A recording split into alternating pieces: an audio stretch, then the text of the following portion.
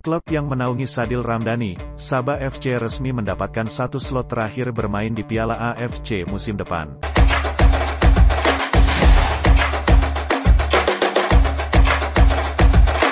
Sabah FC akan bergabung dengan runner-up Liga Super Malaysia, Terengganu FC menjadi wakil Malaysia di Piala AFC. The Rhinos mengantongi tiket Piala AFC menyusul kekalahan Selangor FC di final Piala Malaysia 2022.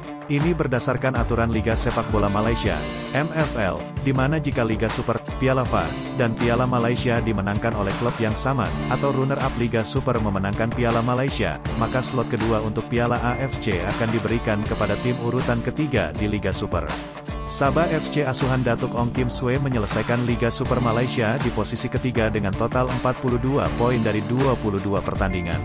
Andai Johor Darul Taksim gagal juara Piala Malaysia, maka Sabah FC harus merelakan tiket Piala AFC jatuh di tangan Selangor FC.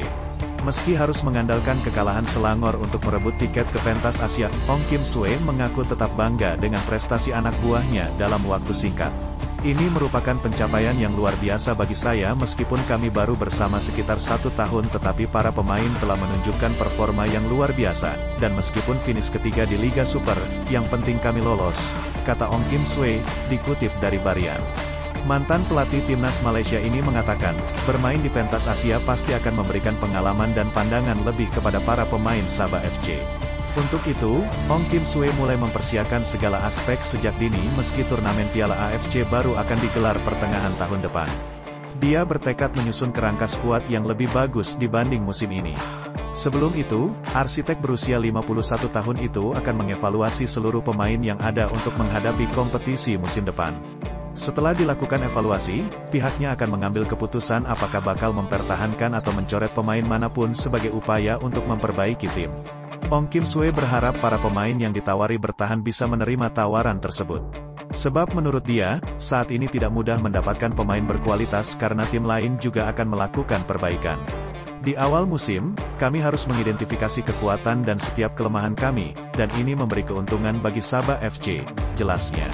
Yang penting di sini, saya harap semua pemain Sabah, FC tetap fit karena kami akan melalui proses yang sangat sibuk dengan jadwal Liga, Piala Malaysia, Piala FA dan juga Piala AFC, ucapnya. Sabah FC sendiri sudah kehilangan salah satu pemain kunci mereka yakni Sadil Ramdhani.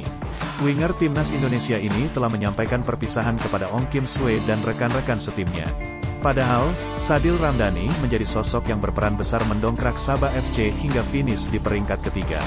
Ia hampir tak tergantikan di sektor sayap dengan menyumbang 4 gol dan 6 asis. Pemain berusia 23 tahun itu memutuskan angkat kaki seusai kontraknya habis bulan November ini. Gaya mengajarmu membuat kami ingin tinggal lebih lama, namun waktu harus membuat perjumpaan kita berakhir dalam perpisahan, namamu akan selalu kami kenang, guru, tulis Sadil.